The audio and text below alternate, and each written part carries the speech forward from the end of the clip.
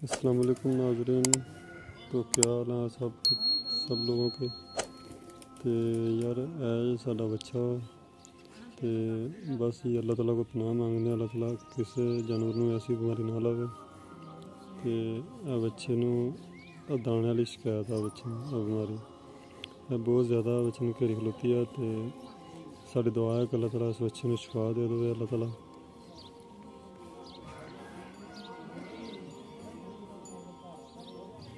ਵੇਖ ਸਕਦੇ ਹੋ ਤੁਸੀਂ ਇਹ ਜਿਹੜੀ ਇੱਕ ਬਿਮਾਰੀ ਨਵੀਂ ਆਈ ਆ, ਉਹ ਇਹਨੂੰ ਲੱਗੀ ਬੱਚੇ ਨੂੰ। ਕਾਫੀ ਜਾਨਵਰਾਂ ਨੂੰ ਸੀਗੀ ਤੇ ਗਾਈਆਂ ਨੂੰ ਵੀ ਹੈਗੀ ਸੀ, ਉਹਨਾਂ ਨੂੰ ਇੱਕ ਦੋ ਨੂੰ ਹਟ ਗਈ ਹੈ ਤੇ ਬੱਚੇ ਨੂੰ ਬਹੁਤ ਜ਼ਿਆਦਾ ਲੱਗੀ ਹੋਤੀ ਹੈ। ਤੇ ਬਸ ਅੱਲਾਹ ਤਾਲਾ ਅੱਗੇ ਦੁਆ ਇਹ ਹੋਈ ਹੈ ਕਿ ਅੱਲਾਹ ਤਾਲਾ ਬਚਾਈ ਰੱਖਿਆ ਹਰ ਜਾਨਵਰ ਨੂੰ। ਤੇ ਪੱਠੇ ਵਗੈਰਾ ਥੋੜੇ ਬਹੁਤ ਖਾਂਦਾ ਤੇ ਗਾਲੀ ਵਗੈਰਾ ਨਹੀਂ ਕਰਦਾ ਹੈਗਾ। ਪੱਠੇ ਖਾ ਲੈਂਦਾ ਉਵੇਂ ਹਰ ਚੀਜ਼ ਪਾਣੀ ਵੀ ਪੀ ਲੈਂਦਾ।